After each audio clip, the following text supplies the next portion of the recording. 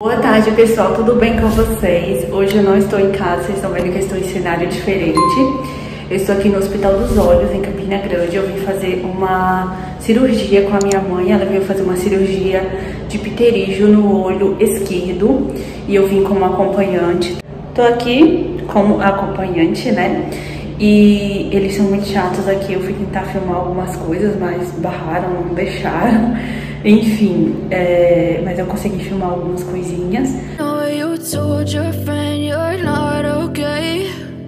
Tell me what's wrong and why you never said you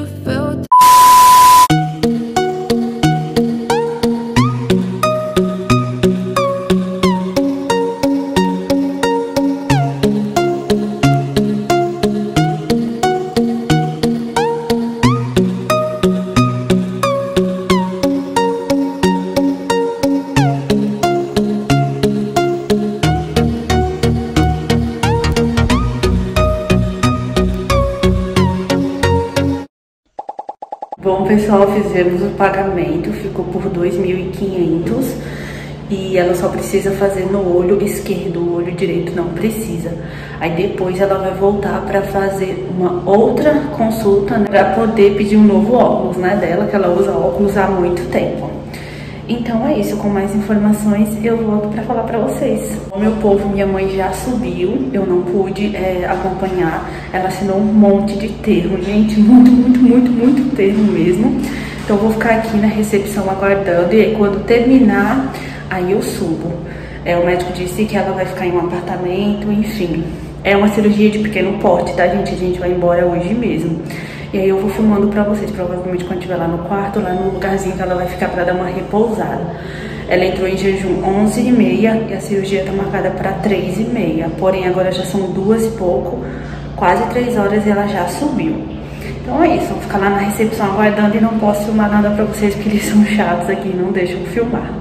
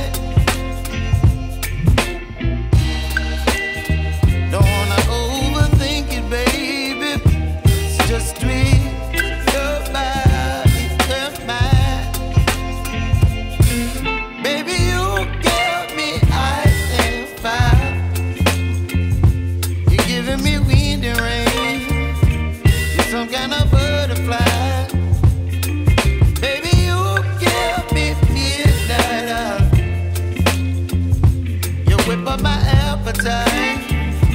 Don't leave me here.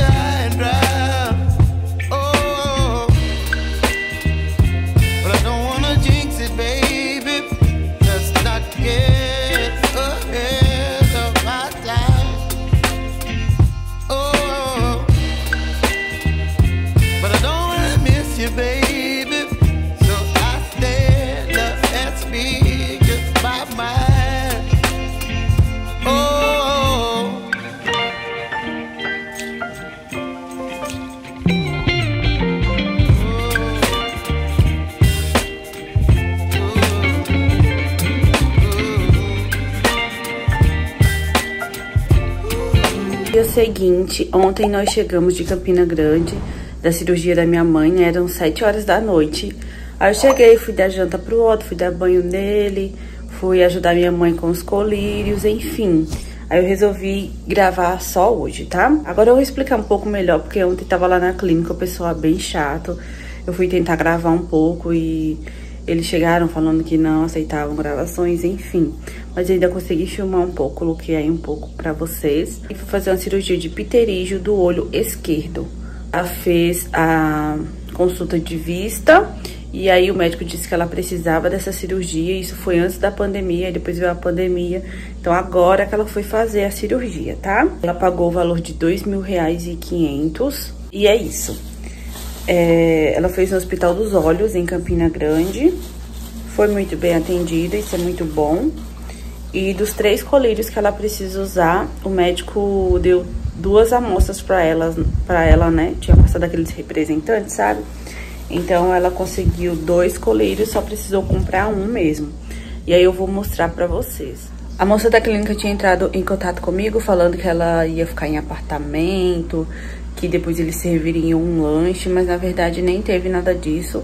Foi bem rapidinho, assim, acho que eu fiquei uma hora e pouco esperando. Acompanhante da Maria, que era minha mãe, né? Então eu subi, eu pensei que ali iria estar em um apartamento, alguma coisa assim. Mas realmente ela tava só nas cadeirinhas, junto com outra senhora que tinha feito é, catarata. E ela falou também que tinha um lanche depois e minha mãe não recebeu o lanche. Então quando ela chegou em casa ela tava faminta, porque o jejum dela começou às 11h30 ela comeu, né? Ainda deu tempo a almoçar, ela comeu mais cedo. E aí ela só veio comer sete e pouco quando a gente chegou, que ela tomou um banho e tal. Aí eu pedi uma sopinha, ela comeu uma sopinha. Depois ela tomou de pirona que ela começou a sentir dor. Ontem à noite ela começou a sentir dor. O médico falou que ela poderia tomar de pirona. Então eu passei na farmácia e comprei algumas coisas eu vou mostrar pra vocês.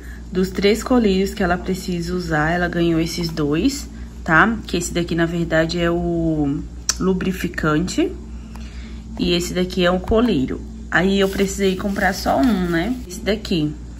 Então, quando acabar esse, que ela começa a usar esse. É, é pinga só uma gotinha a cada três horas, esse aqui.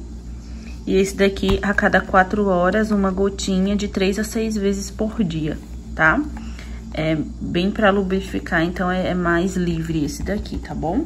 27 e pouco, foi bem barato. Daí na farmácia daqui mesmo, nós compramos de pirão num grama, foi 15 reais isso daqui. Inclusive, no meu pós-parto, o médico passou de pirão num grama pra mim, né, o meu obstetra, e era dessa daqui que eu usava. E na época foi 18 reais. E agora abaixou, né? Ontem eu comprei pra minha mãe por 15. Depois dela jantar e tomar o de pirona, depois de um tempo, passou as dores e aí ela conseguiu, né, dormir bem, graças a Deus. Fui lá em cima agora, ela tá dormindo e esse lado tá um pouco inchado. A enfermeira explicou pra mim que o olho pode ficar bem vermelho, bem normal. E ela não colocou nenhum tipo de tampão, nem nada. Ela, o médico colocou uma lente de contato, acredito que pra ela enxergar melhor, né? Depois eu mostro pra vocês um pouquinho do olho dela, mas tá bem normal, graças a Deus, foi bem tranquila a cirurgia. Ontem, quando eu passei na farmácia para comprar o colírio dela, rapidamente assim, eu vi promoção de fralda e o Otto tá precisando de fralda porque aquele estoque que eu fiz para ele já acabou. E aí eu vou mostrar para vocês as fraldinhas que eu comprei. Olha só, gente, é, era essa fralda que tava na promoção lá na farmácia. É da turma da Mônica, esse daqui é modelo shortinho, que diz que é novo. 24 fraldas, se você comprasse duas, na promoção tinha que comprar duas, saía 26 e pouco. Aí eu olhei assim, né? Aí depois a moça falou pra mim que é o modelo shortinho. Geralmente o modelo shortinho tem uma qualidade muito boa, né? Pelo menos todas as que eu usei, que foram Cremer, Hugs, Mami Pouco, geralmente são muito boas, né? Então, acredito que essa daqui também seja. Fiquei com um pouco de medo porque eu vi algumas avaliações no Amazon sobre essa turma da Mônica dizendo que era muito pequena. Mas aí aqui diz que é de 12 a 17 quilos, então realmente eu trouxe a XG e não a XXG. Mas enfim, achei o preço bacana por ser shortinho, porque geralmente o modelo shortinho é mais caro, né? Então eu comprei essas duas, saiu 26 e pouco cada. Uma hora depois. Pedi pro meu esposo passar no mercado, gente, comprar álcool 70, porque eu sou viciada em álcool, gente. É, sempre quando acaba, eu sempre compro. Esse daqui foi 8 reais. Olha só, o meu já tava acabando e eu deixo esse frasco aqui na frente da fórmula do Otto. Então, sempre quando eu vou fazer a mamadeirinha dele, eu uso o álcool.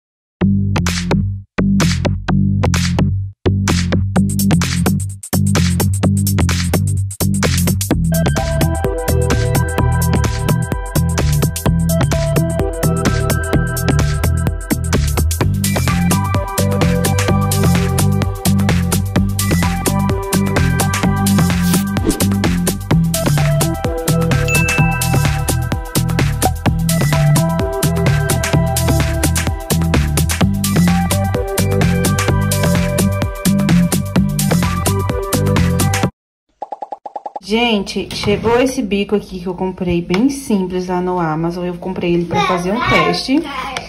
Que foi esse bico aqui que na verdade tá todo amassado. Eu vou esterilizar ele agora e vou ver se funciona. Eu paguei R$2,70 no Amazon. E aí, se funcionar, eu vou trocar, aproveitar que é baratinho, e trocar as, é, os bicos do Otto, que são desses pequenininhos assim. Acredito que vai funcionar assim, não tinha nenhuma avaliação, assim, escrita. Então, eu realmente comprei no escuro, mas acredito que dá certo. Porque, gente, mamadeiras a gente sempre tem que estar tá trocando o bico e etc. Ou esterilizando, né? Colocando na água sanitária e tal ou também fervendo. Aí eu já venho fervendo, já venho colocando na, na, água sanitária, mas realmente eu comprei esse daqui baratinho, que são de algumas mamadeiras mais simples que ele tem, daqui a pouco eu mostro pra vocês. E vamos ver se dá certo. Enquanto isso, eu vou colocar esse aqui pra esterilizar. Ele é assim, ó, pessoal. Então, eu vou esterilizar agora. Gente, ó lá, deu certinho. Eu esterilizei, né? E essa mamadeirinha dele aqui é da Loli. Ele tem mais duas dessas, só que no tamanho grande. Então, eu já vou correr pra trocar, tá, gente? R$2,70. Acho que vale a pena, né? Pra tá trocando os bicos dele de vez em quando. Então, acho que valeu super a pena, tá bom? Se vocês quiserem, é só vocês colocar lá no Amazon que vocês encontram. Chegou a hora aqui, ó, de abrir pra saber se foi prejuízo ou se foi lucro, né? Espero que seja lucro. É, enfim, vou abrir aqui agora pra ver tamanho e tudo mais. E também já vou colocar nele pra ver como que vai ficar, né? Porque o meu maior medo é que fique pequena. Porque como eu vi várias pessoas falando lá no Amazon, dizendo que era uma forma muito pequena. Não sei essa shortinho, né? Enfim, vamos ver. E que menina linda, né, gente? Daqui da capinha. Vamos, vamos abrir pra ver como que ela é. Olha, gente, ela é assim. Não achei pequena, tá? Vou colocar nele agora. E vamos ver como que vai ficar. Hum, pelo visto, ó, vai dar certo. Olha só, gente, como foi que ficou nele, tá? Eu achei que ficou, sim, um pouco apertada, mesmo falando que, que até 17 quilos. Ele, no caso, a última vez, ele tava com perto de 12 quilos. É, então eu vou testar nele, né? Ele vai dormir o soninho da tarde agora. Eu vou testar nele pra ver como que vai ficar. Só vai marcar muito, né? Aqui a parte da cinturinha. Ó só, ficou assim. Porque ele não para quieto. A qualidade em si parece ser muito boa, tá? O designer também é bem bonitinho. Mas eu achei que ficou um pouquinho apertado, ó. Aí eu vou ver se vai marcar muito e tal. Mas ficou bem bonita. Agora à tarde eu lavei essas roupinhas aqui do Otto. Tudo aqui, gente, é sulfato ferroso. Não sai. Enfim, lavei essas roupinhas aqui dele. Essas aqui eu lavei na máquina, uma outra que eu lavei na mão. Tipo essa cuequinha porque ela põe tinta. Olha só, ele tá usando muito a cuequinha, gente, ultimamente, porque é muito calor aqui. Então eu só coloco a fralda e coloco a, a cuequinha por cima, né? Essas três aqui foram que ele dormiu, porque agora eu só tô colocando a fralda e é, uma camisetinha assim, ou no máximo um shortinho. Porque realmente calça não dá, porque tá muito calor. Eu só coloco uma, uma camisetinha assim, ó. Então, essas foram as roupinhas que eu lavei hoje. Olha só, gente, que chova bastante, que a gente necessita muito. Muito seca essa terra, gente. Tá começando agora, que chova bastante. Amém.